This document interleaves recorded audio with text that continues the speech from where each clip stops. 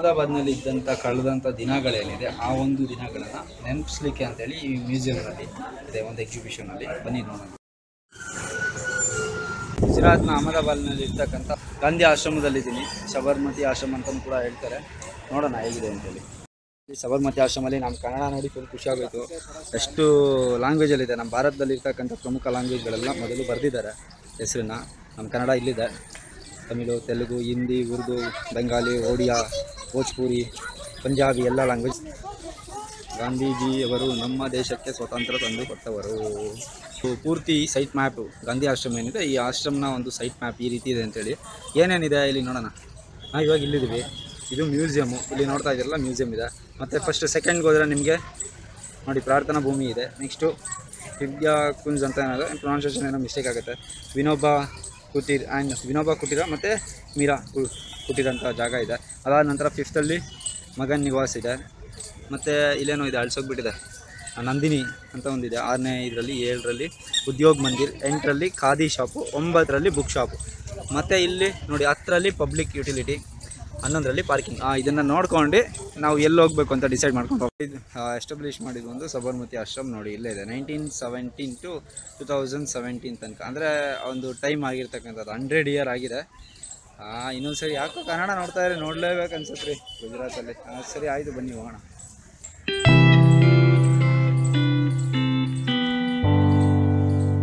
Museum ಮತ್ತೆ library ಅಂತ. ಬನ್ನಿ ಮ್ಯೂಸಿಯಂ ಹೋಗೋಣ. ಅವರೇನಿದ್ರು ನಮ್ಮ ಮಹಾತ್ಮ ಗಾಂಧೀಜಿಯವರು ಅವ್ರಿಗೆ ಮಹಾತ್ಮ ಹೇಗೆ ಆದರು ಅಂತಕ್ಕಂಥದ್ದನ್ನ ಒಂದು ಕಿರು ಪರಿಚಯ ಇಲ್ಲಿದೆ ಅವರ ಬಗ್ಗೆ. ನೋಡಿ ಇಲ್ಲಿಂದ ಅವರು ಚಿಕ್ಕವರಾಗಿರ್ಬೇಕಾದ ಆದ ನಂತರ ದೊಡ್ಡವರು ಇಲ್ಲಿ ಬಂದು ಬಂದು ಬಂದು ಬಂದು ಮಹತ್ವ ಎಷ್ಟು ವರ್ಷಗಳ ಶ್ರಮದ ನಂತರ.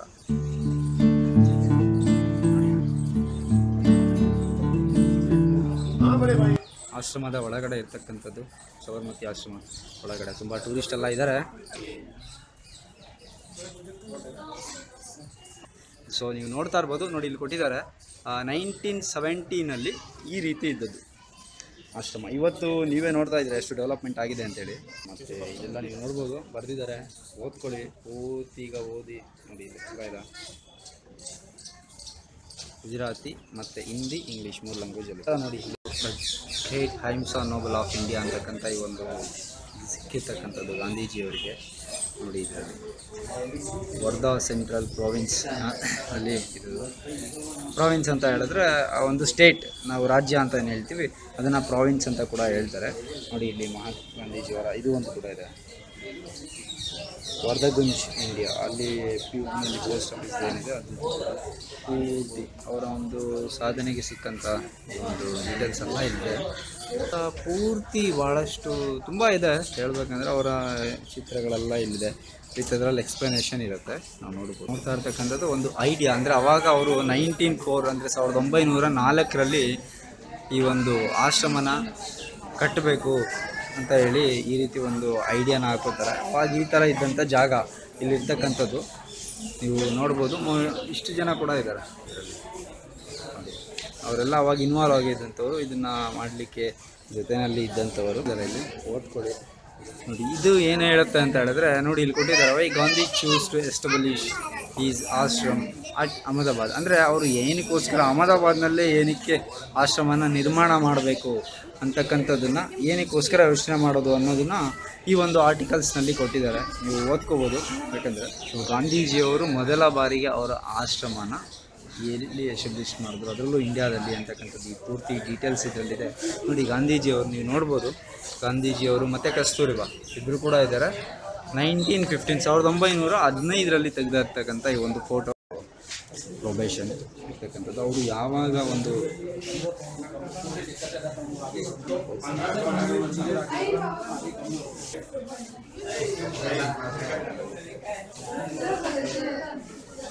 ಏನು ಚಿತ್ರಣ ಅಂತ ಹೇಳಿದ್ರೆ ಗಾಂಧೀಜಿಯವರು ಇಲ್ಲಿ ಕಾಟೇಜ್ ಇಂಡಸ್ಟ್ರಿ ಜಾಸ್ತಿ ಇರೋ ಕಾರಣ ಮತ್ತು ಇಲ್ಲಿ ನೀವು ನೋಡಿರ್ಬೋದು ಚ, ಆ ಚರ್ಕದಲ್ಲಿ ನೇಯ್ತಕ್ಕಂಥ ಬಟ್ಟೆ ಅದಕ್ಕೆ ಹೆಚ್ಚಿನ ಮಹತ್ವ ಕೊಡಬೇಕು ಇಲ್ಲಿನ ನಾಗರಿಕ ಜನಗಳಿಗೆ ಅಂತೇಳಿ ಅವರು ಒಂದು ಡಿಸ್ಕಷನ್ ಮಾಡಿ ಶುರು ಮಾಡಿದಂಥದ್ದು. ಇವಾಗ ನೀವೇನು ನೋಡ್ತಾ ಇದ್ದೀರಾ? ಖಾದಿ ಗ್ರಾಮೋದ್ಯೋಗ ಅಂತಕ್ಕಂಥದ್ದು ಆ ಒಂದು ಡಿಸ್ಕಷನ್ ಮಾಡಿದಂಥ ಸಮಯ.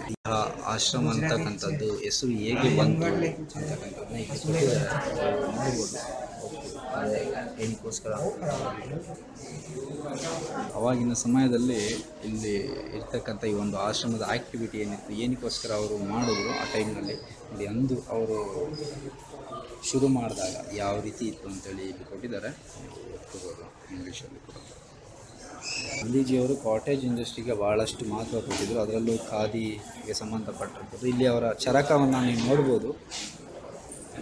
ಇಲ್ಲಿದೆ ನೋಡಿ ಈ ರೀತಿ ಇವಾಗಲೂ ಕೂಡ ಒಂದು ಊರಿದೆ ಮೈಸೂರು ಡಿಸ್ಟಿಕ್ನಲ್ಲಿ ಅಲ್ಲಿ ಕೂಡ ನಡೆಯುತ್ತೆ. ಯಾಕೆಂದರೆ ಗಾಂಧೀಜಿಯವರು ಬಂದಂಥ ಸಮಯದಲ್ಲಿ ಭೇಟಿ ಕೊಟ್ಟಿದ್ದರು ಆ ಬದನವಾಳು ಅನ್ನೋ ಒಂದು ಗ್ರಾಮಕ್ಕೆ, ನಂಜನಗೂಡು ತಾಲೂಕಲ್ಲಿದೆ. ಅಲ್ಲಿ ಕೂಡ ಇವತ್ತಿಗೂ ಕೂಡ ಚರಕದಲ್ಲಿ ನೇಯ್ತಾರೆ. ಖಾದಿಯನ್ನು ನೇಯ್ತಕ್ಕಂಥವರು ಒಂದು ಟೀಮೇ ಇದೆ ಆ ಒಂದು ಊರಿನಲ್ಲಿ.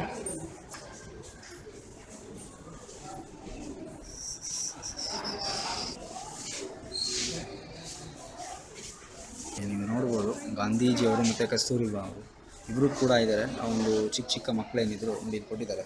It Gandhiji insists that his grand children pay for the stay in the ashram ಅಂದರೆ ಅಲ್ಲಿ ಇರ್ತಕ್ಕಂಥ ಮೊಮ್ಮಕ್ಕಳು ಆ ಮಕ್ಕಳೇನಿದ್ರು ಚಿಕ್ಕ ಮಕ್ಕಳು ಅವರು ಸ್ಟೇ ಆಗಲಿಕ್ಕೆ ಅವರು ಈ ಆಶ್ರಮದಲ್ಲಿ ರೆಡಿ ಮಾಡಿಕೊಡ್ತಾರೆ ಮತ್ತು ನಿಮಗೆಲ್ಲ ಗೊತ್ತಿರ್ಬೋದು, ಅವಾಗೆಲ್ಲ ಒಂದು ಪದ್ಧತಿ ಇತ್ತು. ಕೆಲವ್ರನ್ನೆಲ್ಲ ಟಚ್ ಮಾಡ್ತಾ ಇರಲಿಲ್ಲ ಯಾರಿ ಜನ, ಮೇಲು ಕೀಳು ಅಂತಕ್ಕಂಥದ್ದನ್ನು.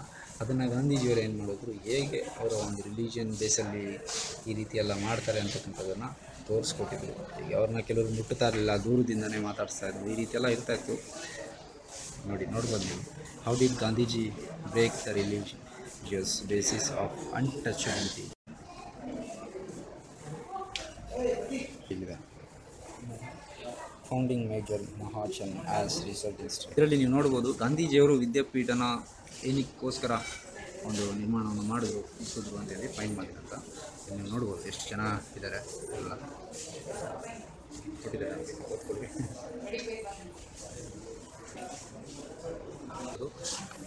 ಯಂಗ್ ಇಂಡಿಯಾ ಅಂತೇಳಿ ಫೈನಾನ್ಷಿಯಲ್ ಆ್ಯಂಡ್ ಎಕನಾಮಿಕ್ ಸಪ್ಲಿಮೆಂಟ್ ಅಂತೇಳಿ ಅಹಮದಾಬಾದ್ ಬಗ್ಗೆ ಬಂದಿರ್ತಕ್ಕಂಥದ್ದು ಅಹಮದಾಬಾದ್ ಇಷ್ಟೇ tenth May nineteen twenty ತ್ರೀನಲ್ಲಿ the wrong of India expenditure ಅಂತೇಳಿ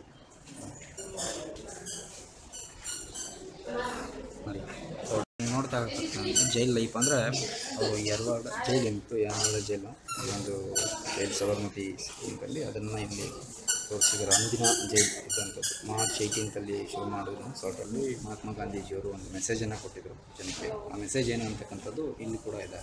ನೀವು ಗಮನಿಸ್ಬೋದು. ನೋಡ್ಬೋದು, ಆ ದಂಡಿ ಯಾತ್ರೆನ ಮಾಡಿದ್ರಲ್ಲ, ಆ ಒಂದು ಸಮಯದಲ್ಲಿ ಗಾಂಧೀಜಿಯವರು ಆಶ್ರಮನ ಏನಕ್ಕೋಸ್ಕರ ಸೆಲೆಕ್ಟ್ ಮಾಡಿದ್ರು ಆ ದಂಡಿ ಯಾತ್ರೆಗೆ ಅಂತಕ್ಕಂಥದ್ದು ಇಲ್ಲಿ ಎಕ್ಸ್ಪ್ಲನೇಷನ್ ಇದೆ. Why did Gandhi choose only selected ashram inmates for the great march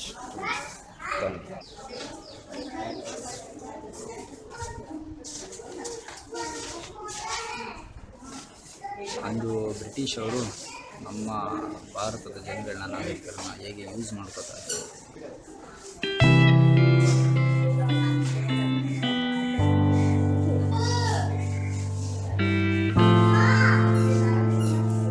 ನೋಡಿ, ಗಾಂಧೀಜಿಯವರು ಉಪ್ಪಿನ ಸತ್ಯಾಗ್ರಹ ಮಾಡ್ತಾರೆ. ಏನಕ್ಕೋಸ್ಕರ ಆಯ್ಕೆ ಮಾಡ್ಕೊಂಡ್ರು ಒಂದು ಇದರಲ್ಲಿ? ಎಷ್ಟು ಒಂದು ಶ್ರಮನ ಪಟ್ಟರು ಅಂತಕ್ಕಂಥದ್ದನ್ನ ಇಲ್ಲಿ ತೋರಿಸ್ತಾರೆ. ನೋಡಿ ನೋಡ್ಬೋದು. ಅಂದಿನ ಫೋಟೋ ಜನಗಳೆಲ್ಲ ಹೇಗೆ ಬ- ಉಪ್ಪಿನ ಸತ್ಯಾಗ್ರಹದಲ್ಲಿ ಭಾಗಿಯಾದಂಥ ಜನಗಳು ಆ ಹೋರಾಟಕ್ಕೋಸ್ಕರ. ಅವರು ಇಲ್ಲಿ ಕೊಟ್ಟಿದ್ದಾರೆ. ವಾಸ್ ಬಾಯಿ ಇವೆನ್ ಗಾಂಧೀಜಿ ಟೀಚರ್ ಸೊ ಬಹಳ ಅರ್ಥಪೂರ್ಣವಾಗಿ ಹೇಳಿದ್ದಾರೆ ಇದರಲ್ಲಿ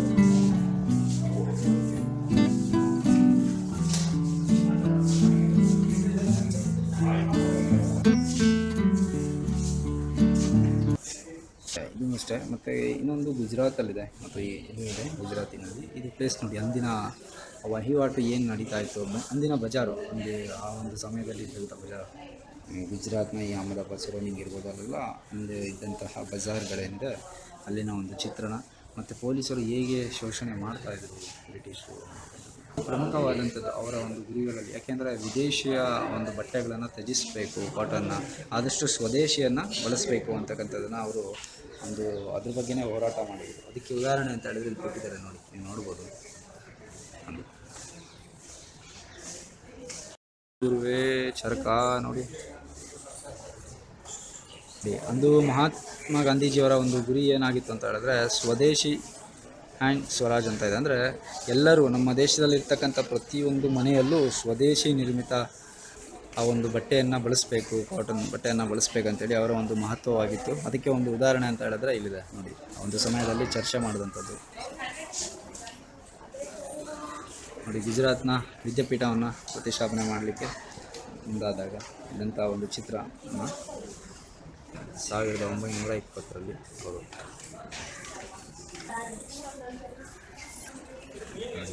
ಎಜುಕೇಷ್ನಲ್ ಎಕ್ಸ್ಪೆರಿಮೆಂಟ್ಸ್ ಅದೇನಿದೆ, ಅದ್ರ ಬಗ್ಗೆ ತಿಳಿಸ್ತಾ ಇರ್ತಕ್ಕಂಥದ್ದು, ಅಂದರೆ ವಿದ್ಯಾಭ್ಯಾಸದ ಒಂದು ಜ್ಞಾನದ ಕುರಿತು ಎಲ್ಲರ ಬಗ್ಗೆ ಚರ್ಚೆ ಮಾಡ್ತಾ ಇರ್ತಕ್ಕಂಥದ್ದು ಒಂದು.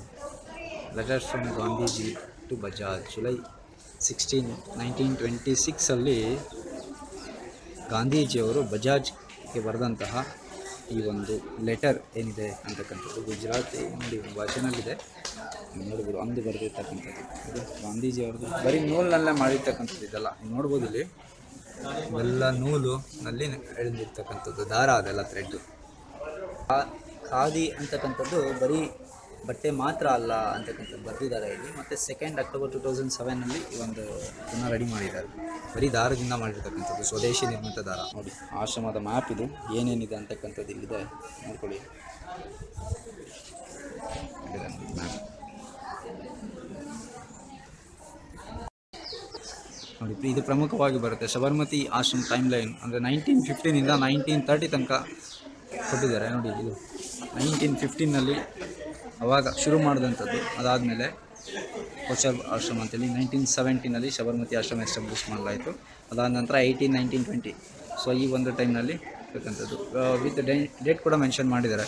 ಆ ಒಂದು ಸಮಯದಲ್ಲಿ ಮಾಡಲಿಕ್ಕೆ ಅವರು ಶುರು ಮಾಡಿದಂಥದ್ದು. ಪೂರ್ತಿಯಾಗಿ. ಮತ್ತು ಇಲ್ಲೂ ಕೂಡ ನೀವು ನೋಡ್ಬೋದು.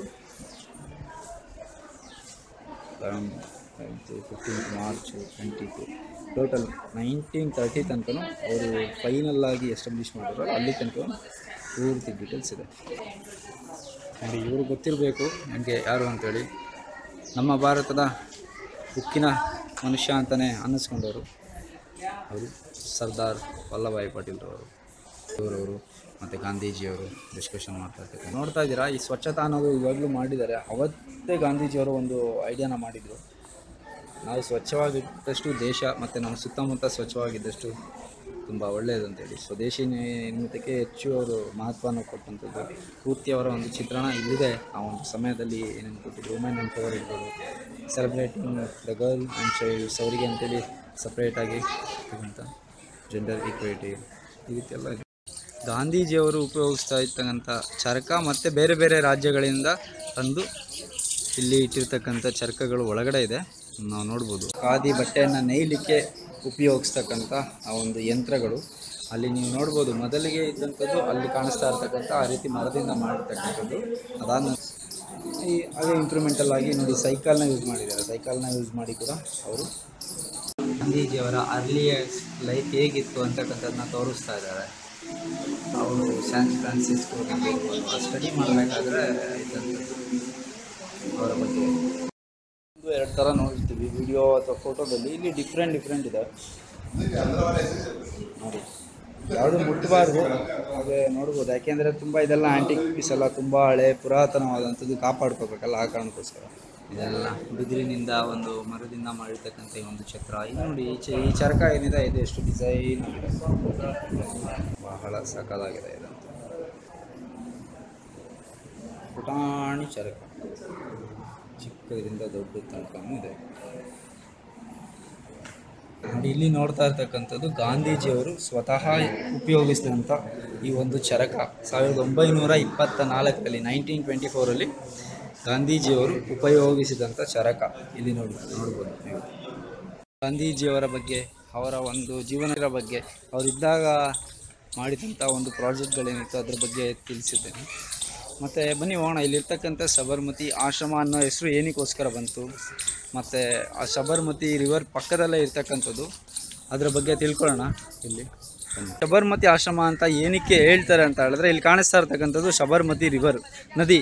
ಈ ಶಬರ್ಮತಿ ರಿವರ್ ಏನಿದೆ, ರಾಜಸ್ಥಾನದ ಉದಯ್ಪುರಿಂದ ಬರುತ್ತೆ. ಉದಯ್ಪುರಲ್ಲಿ ಒಟ್ಟು ರಾಜಸ್ಥಾನದಲ್ಲಿ ನಲವತ್ತ ಎಂಟು ಕಿಲೋಮೀಟ್ರ್ ಹರಿಯುತ್ತೆ. ಅದಾದ ನಂತರ ಗುಜರಾತ್ನಲ್ಲಿ ಹರಿಯುತ್ತೆ. ಒಟ್ಟು ಮುನ್ನೂರ ಎಪ್ಪತ್ತ ಒಂದು ಕಿಲೋಮೀಟರ್ ಈ ಒಂದು ಶಬರಮತಿ ನದಿ ಹರಿದು, ಅದಾದ ನಂತರ ಅರಬ್ಬಿ ಸಮುದ್ರಕ್ಕೆ ಸೇರುತ್ತೆ. ಮುನ್ನೂರ ಇಪ್ಪತ್ತ ಮೂರು ಕಿಲೋಮೀಟರ್ ಗುಜರಾತ್ ಭಾಗದಲ್ಲಿ ಹರಿದು ಹೋಗುತ್ತೆ.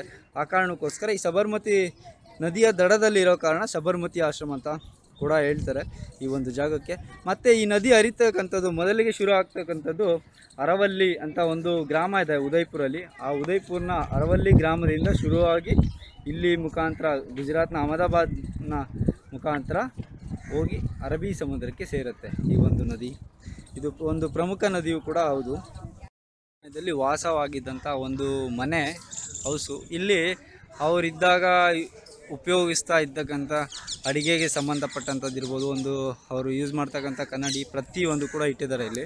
ಗಾಂಧೀಜಿಯವರು ಏನೇನು ಉಪಯೋಗಿಸ್ತಾ ಇದ್ದರು ಇಲ್ಲಿದ್ದಾಗ ಕೆಲವರು ಹೇಳೋ ಪ್ರಕಾರ ಹನ್ನೆರಡು ವರ್ಷ ಗಾಂಧೀಜಿಯವರು ಇಲ್ಲೇ ಇದ್ದರು ಅವಾಗ ಒಂದು ಲೈಟ್ ಇರಲಿಲ್ಲ, ಏನೂ ಇರಲಿಲ್ಲ ಅಂತ ಹೇಳ್ತಾರೆ.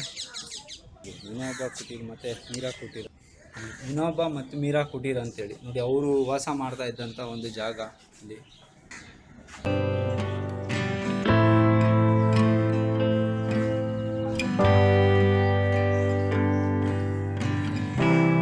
ಅಡಿಗೆ ಮನೆ.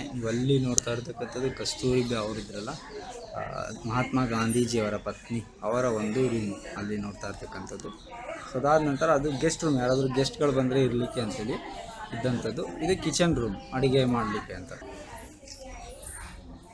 ಒಳಗಡೆ ಸ್ಟೋರ್ ರೂಮ್ ಕೂಡ ಇದೆ. ಅವಾಗ ಯಾವ ರೀತಿ ವ್ಯವಸ್ಥೆ ಮಾಡಿದ್ರು ಅಂತೇಳಿ ನೀವು ನೋಡ್ತಾ ಇರ್ತಕ್ಕಂಥದ್ದೆಲ್ಲ ಗಾಂಧೀಜಿಯವರಿಂದ ಉಪಯೋಗಿಸಿದಂಥ ನೋಡಿ ಇದು.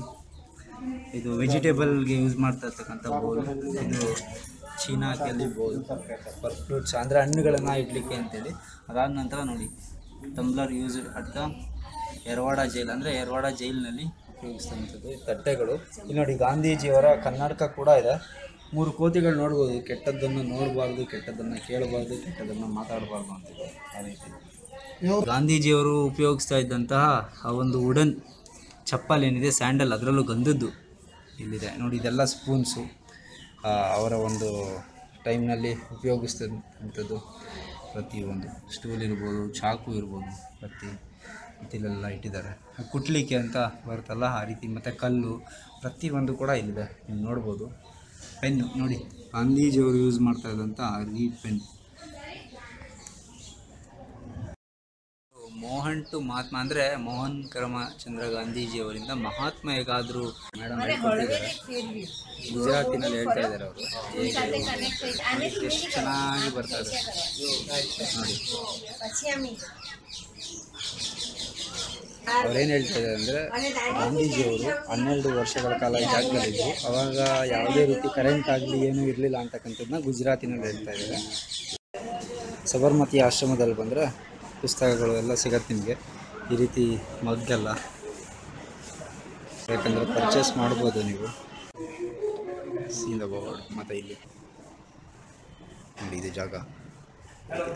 ಅರ್ನ್ ಆ್ಯಂಡ್ ಲರ್ನ್ ಸಂಪಾದಿಸಿ ಮತ್ತು ಕಲಿಯಿರಿ. ಎರಡೂ ಇದೆ. ಇದರಲ್ಲಿ ಕೊಟ್ಟಿದ್ದಾರೆ.